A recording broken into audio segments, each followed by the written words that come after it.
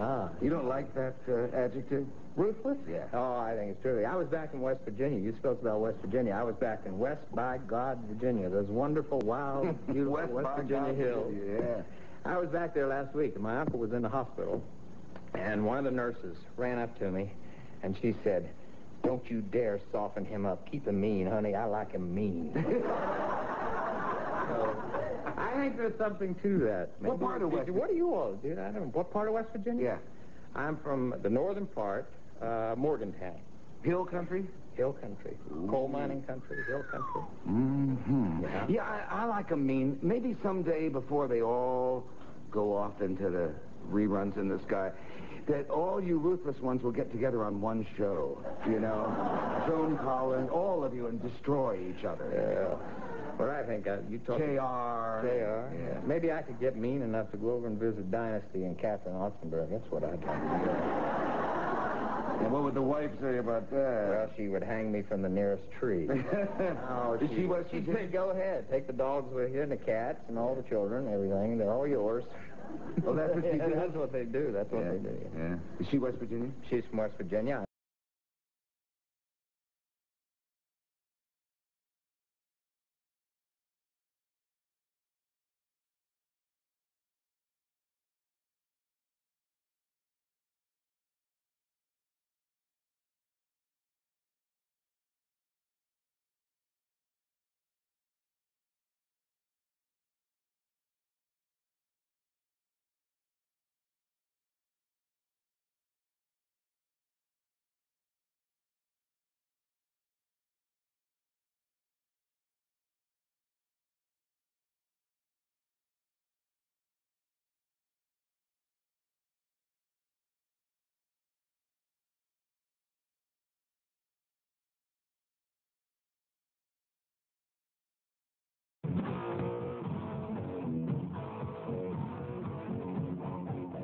Sort of an adult community. It's the South has risen and come to Napa.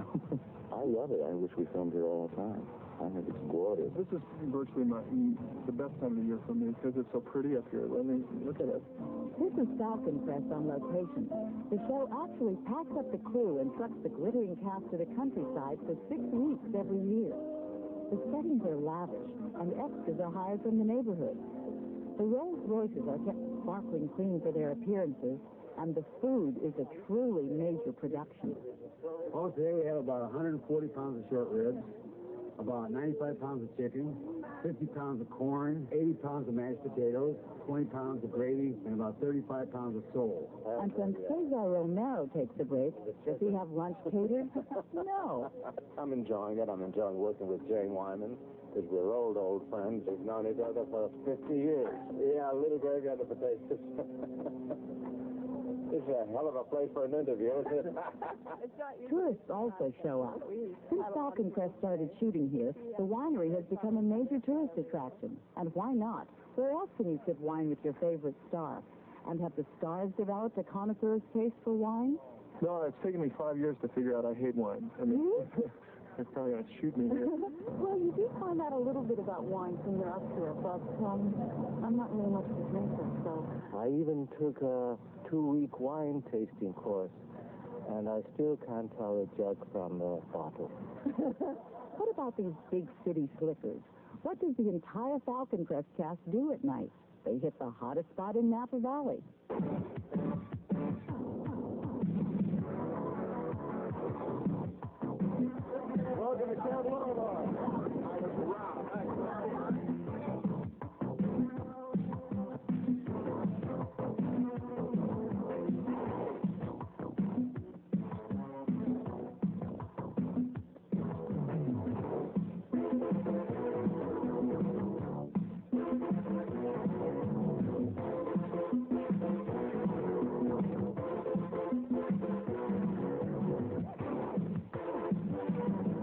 Will the Falcon Crest team do to the opposition next season?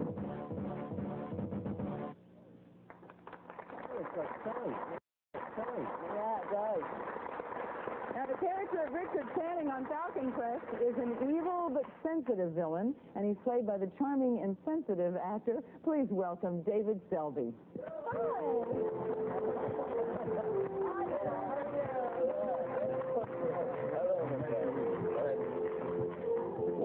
Introduction. My goodness, I'll just stay here all day. Well, it sure looks like you're having fun up in Napa Valley, too. See that? What a lousy bowler I am. now, after four going on five years on Falcon Crest, Yeah. tonight, what makes the show continue to work after all that time?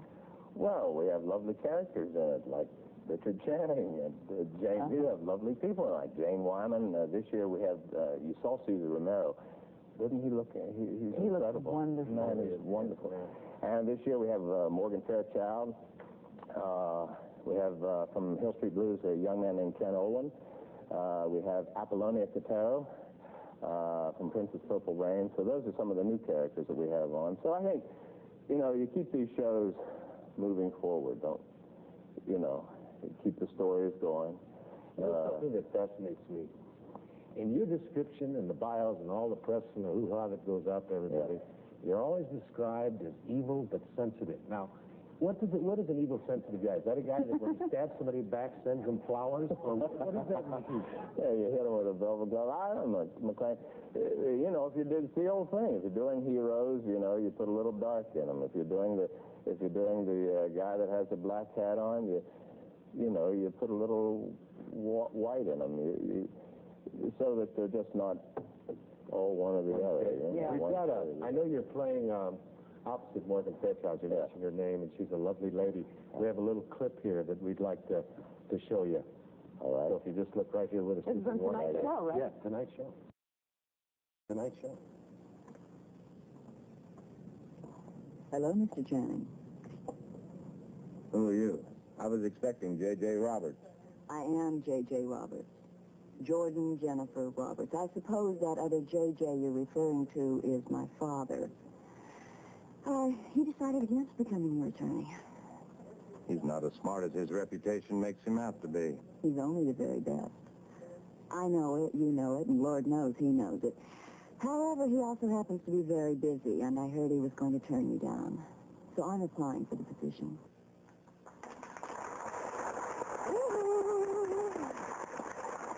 Okay. Now, on the show, Maggie is married to Chase, and you play Richard Channing. All right. Now, at the end of the final episode last uh-huh. season, just after you kissed Maggie, there was a terrific explosion. What a kiss. What a kiss.